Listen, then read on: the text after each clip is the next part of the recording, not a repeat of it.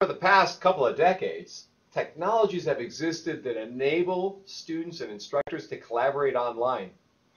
As we push into web-based learning experiences and online learning, and the technologies of the Web 2.0 find their way into classrooms, schools, and universities, we see this notion of collaboration becoming pervasive in your own classroom settings as well as in institutions and organizations around the world. That's what I'm going to be talking to you about in this segment. Brought to you by Indiana University School of Education, fostering online collaboration and teaming. You know, developing tasks is the key part where collaboration makes or breaks. If you don't have the task structured, you're not going to have interesting, engaging, meaningful collaboration taking place. So think about things on the front end. How are you going to design the task and assess that task? How are you going to create teams and support those teams? What kinds of interactions might take place? How large will your groups be? How will they interact and where will you find their work? And how will you react to it? How could they share notes and documents and slides? There are tools today for doing so, whether it's Google Documents, where you might be writing a document and posting it online for others to collaborate with you on, or slides that you've posted, like these in PowerPoint, potentially spreadsheet activities from Google Docs. This is all free, by the way, at Google Docs, at least at this time. It's an interesting and very powerful website that one can use for collaboration, not only within your classes, but within other professional and personal activities that you engage in. Slides that you create can go up in SlideShare if you don't want to use Google Documents to share slides. Collaboration also can take place in discussion forums, in wikis, in blogs, in online communications. Students today can use wikis like Twiki or PBWorks, which used to be called PB Wiki, Peanut Butter Wiki. If it's as easy as peanut butter, anybody can use it, right? Wet Paint if you're in the K-12 area. Uh, Wiki Spaces is an interesting and easy tool which a lot of people use for business, nonprofit, K-12, higher ed, across. Millions of people now have wikis in these spaces, and now with classrooms, you can have students doing some interesting teaming activities, sharing activities, put stuff in the wiki.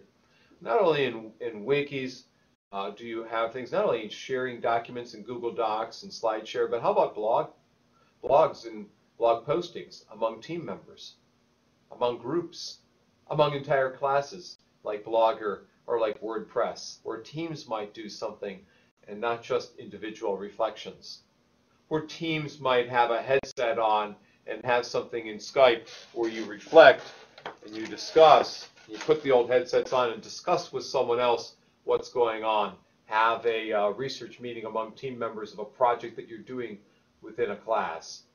You know, you can maybe do cross-cultural, you know, be in more than one place around the globe with tools like Skype or Skype, which is free, by the way, or Google Talk. If you want to go back to the Googleization of information, try Google Talk and have free phone calls with anyone around the world.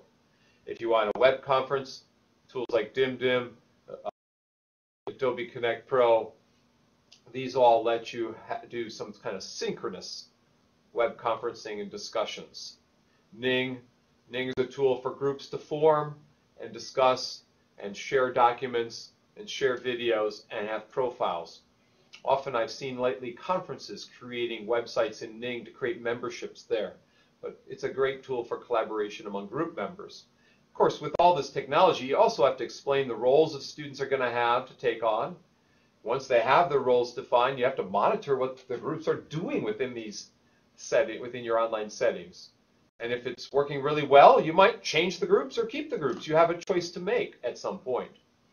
and a teamwork so you can maybe reuse it later in the semester, reflect on it, use it as examples later on. There's many things you do as an instructor once you've set up those groups. Size of group becomes important. Do you want two people groups, three people in a group, four people? Experiment with just two people to start with and then maybe expand to three, four, or five in small group teamwork. In discussion forums, it could be larger. And then, do we want to maybe have cross-institutional collaboration, cross-institutional uh, kinds of events that occur so that students get to know each other outside your place? And then when you grade it, is it instructor grading work or is it team grading it? Are peers grading what the individual students have done? Is it self-graded or are experts coming in? And when you have all this collaboration, you have challenges. Students might have different interests, not only within your own class, but coming from other places around the world with different areas of expertise, background, cultural knowledge. And once you've formed a group and do an activity like a jigsaw or critical activity where everyone has a role to play and someone doesn't show up or do their part or is a slacker, you have some difficulties there. So start with two, maybe move to three or four students within a group.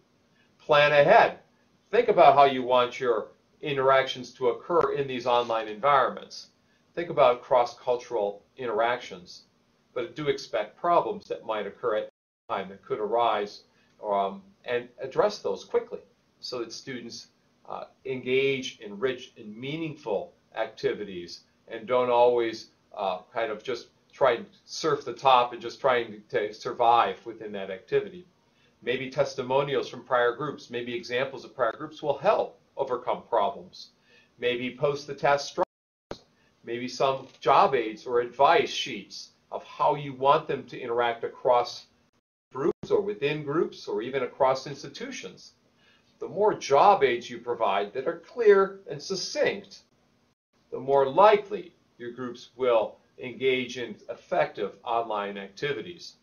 And at the end of the semester, at the end of a unit, at the end of an activity, you might have students reflect on what they did in these teaming activities. You might have them reflect on what you could do differently next time so that it could be even more effective than what you just accomplished.